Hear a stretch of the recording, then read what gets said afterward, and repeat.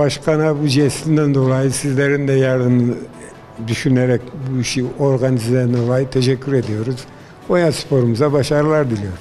Hatırlanmamız çok iyi yani çok çünkü Konya Spor için çok mücadeleler ettik çamurlarda şuraya. Yıllarca gol kralı olduk. Konya, Konya Spor için başarılar elde etmeye çalıştık. Şimdi hatırlanıp da tekrar başkanın bize jesti sizlerin düşünceleriyle yapması bizi onurlandırdı. Onur verdi. Konya Spor'umuza başarılar dilerim. Duygularımız şöyle. Biz Konya'ya zamanında çok hizmet ettik. Yıllarımızı verdik. Ankara'ya da gittik. Ankara gücünde de yıllarca oynadık. Fakat yine 80'de yine geldik bu kulübe.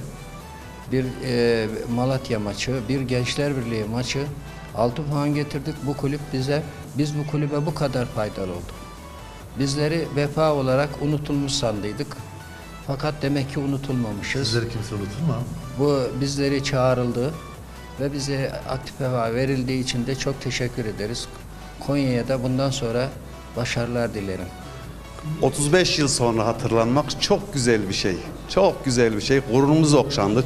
Hakikaten sahayı gördüğüm zaman hatta taklaş şakalaştık böyle. Dedim ki takım eksikse hemen ısınalım, oynayalım dedik yani. O kadar hırslandık. O kadar mükemmel bir stat olmuş. Mükemmel bir stat. Ve takımımıza bundan sonra hep başarılar dileriz yani. Hep başarılar. İnşallah Konya sporumuz daha üst seviyelerde olur.